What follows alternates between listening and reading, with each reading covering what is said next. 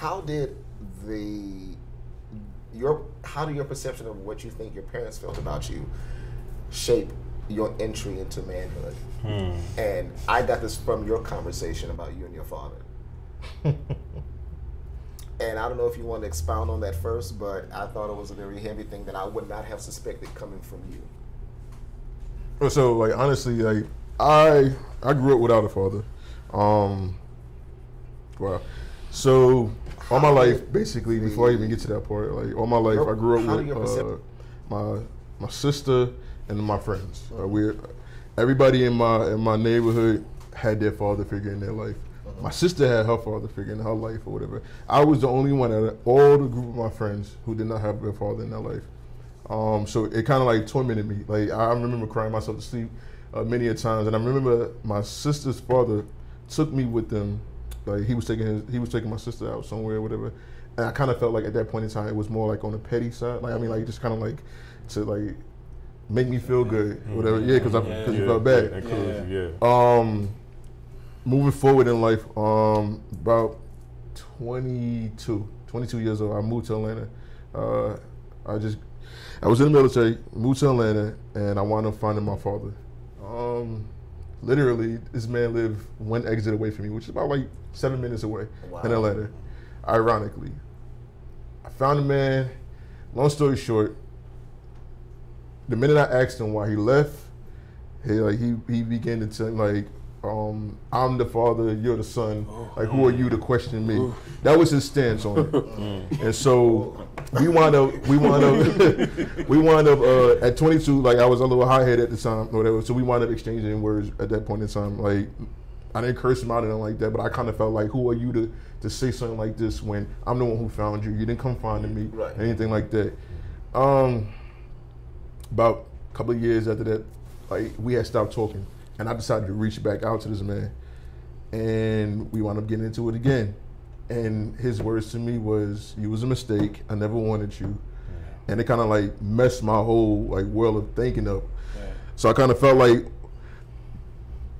the way I grew up, like I grew up without a, I guess a, a male figure in the household because I kind of rejected everybody that was uh, that was coming into my mother's life. Right.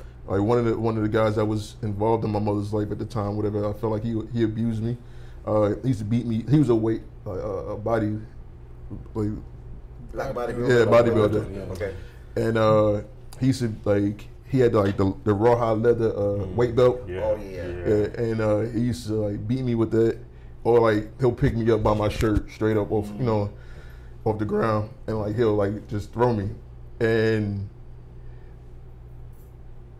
it left like a, a bad scar. Like, so I, I really didn't want to deal with any of my mother's uh, male figures or whatever that, that came into the household. So I, I kind of like really just like stepped back from everybody that she introduced me to, and it was it wasn't many, but it was all of them I did not like, uh, and it was a problem for me. So, so, so, how did that rejection and well, I mean, rejection from your father, and this was, of course, this did this didn't happen at 22. This happened all throughout your life.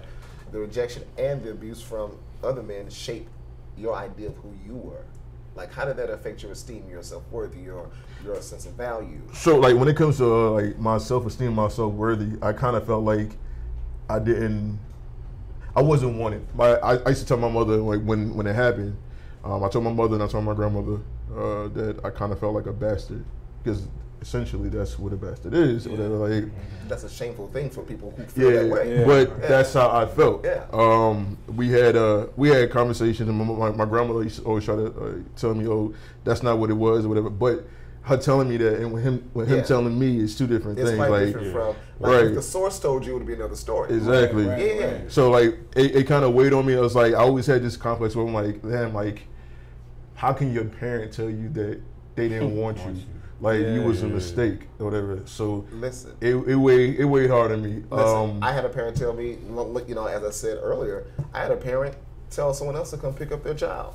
Yeah. I'm yours. Where the hell do you want me to go? Yeah. And um, I can speak for me, and, and I don't know if anyone can relate to this. And I know that you were in the welfare system Yes. too. Um,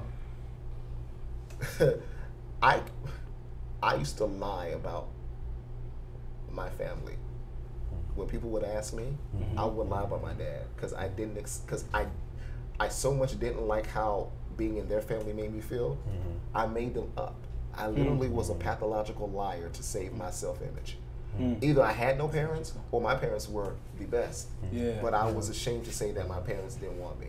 Yeah. I was ashamed to say that they didn't know how to act.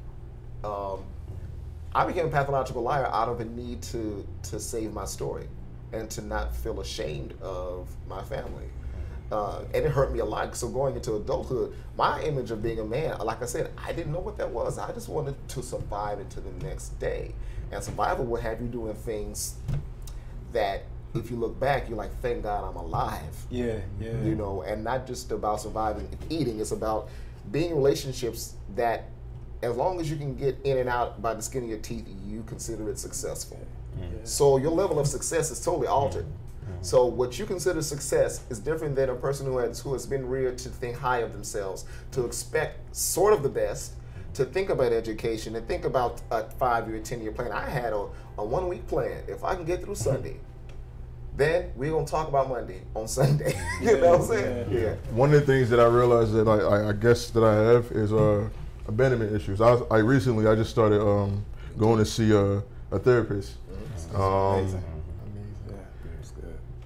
and I realized that uh, my need for I guess not so much as attention, but like for the the nurture of I guess another male figure like that I've missed out on like Right. growing up like I have a need for it. Well, I had a need. I don't know. I don't know what it is. I'm still going through the process right I, now. I, I Yeah. can't And relate, so honestly. it, it's it's it's it's bothersome, honestly. There's Like, a hole there. There's a hole. That's, It is. Uh, uh, you know, and and it shows up in your relationships. Uh, It does. Whether you're whether you're gay or straight, abandonment issues will have you second guessing every action in that relationship. Then as soon as you have an argument, oh damn, maybe I said too much, maybe, and so maybe they'll walk away. Or or hmm. self destruct, meaning I know you're gonna leave anyway, so let me just do the do absolute whatever I wanna do. Exactly. and That's I it. expect the loss. I, I Yeah. listen. I, I do that, so, and I realize I'm starting to realize that I do that so much. Um, and then like I'm also like creating dialogue where the dialogue is not supposed to be there. Absolutely. Like I'm doing mm. certain things mm. in life, especially when, when- when it comes to like other members of my family or mm. whatever. Like I'm creating so many things based off the need for one thing that I've never got. And I thought I honestly I told myself that I was over the situation. I, I wrote about it. I, I and then like this man still doesn't want nothing to do with me. And one of the things that kind of like I kind of like threw me off was when um I was uh I was on Facebook one day, and this is before he blocked me because he blocked me. Wow.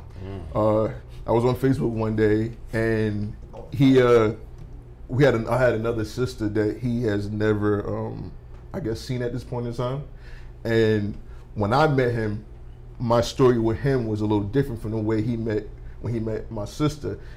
Uh, When he met my sister, he put on a little Facebook, my long lost daughter, I'm so happy, blah blah blah.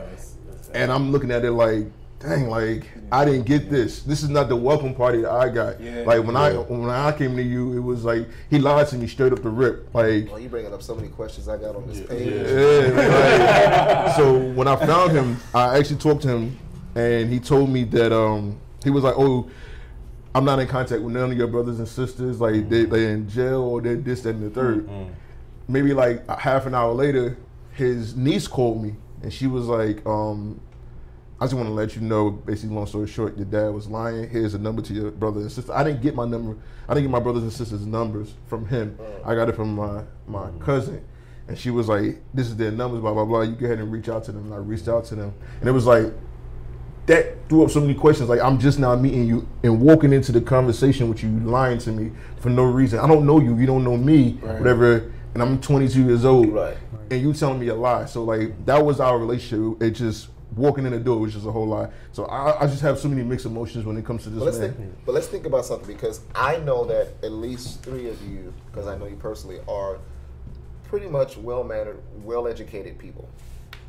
Isn't it amazing that no no amount of education, no amount of success in your personal life will ever fix unhealed abandonment? Exactly. Yeah. And no, no, it doesn't. And the thing is, is that a lot of times, even with me, my abandonment issues is different. Like you know, uh-huh.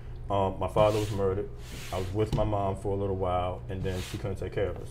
So when I got into the foster care system, I already had the knowledge of my dad is gone, my mom can't do it, so I have to make it work wherever I'm at. Mm-hmm. That carried me on to my relationships. So in my relationships, it's like you know you have we have to make this work. We have to figure this out. We have to go to counsel. We have to do these things. Blah blah blah. Even when the relationship is dead, even when the relationship is abusive, even when the relationship is no good. You know, I was in a bad marriage for a pretty long time or whatever, and you know, you know, I don't want to talk negative Right. about her, but it's just she wasn't ready, and everything was bad. So you know, I had to get to the point where my pastor had to teach me, you can't chase running people. You have to let people go. You have to cut people off because it becomes survival. Yeah. You know, it becomes survival. So when you realize those things and you you do it to heal yourself, then that's that's a long process to do because your whole life you hold on to everything Right. Yeah. because you have nothing. And even being in foster homes, you know, they they I was blessed to be in and I always say Christian households. I didn't move around a lot, but every household wasn't perfect. So you had stuff that was going on that you'd be like, "Oh, for real?" Right. Well, when they come and ask these questions, I'm going, "Oh, everything's fine." But every kid, every kid would say how horrible it is, and they would get to me and say, "Well, what's going on?" Nothing. It's great. Yeah, It's Because perfect. Christian Yeah, yeah, yeah. Right. I don't because the other thing is too. Those kids wanted to go back with their parents. I don't have anywhere to go. Right. So nah, bro, this works for me. This Right, is this right. is gonna I'm gonna make this work until you know it's done or whatever. And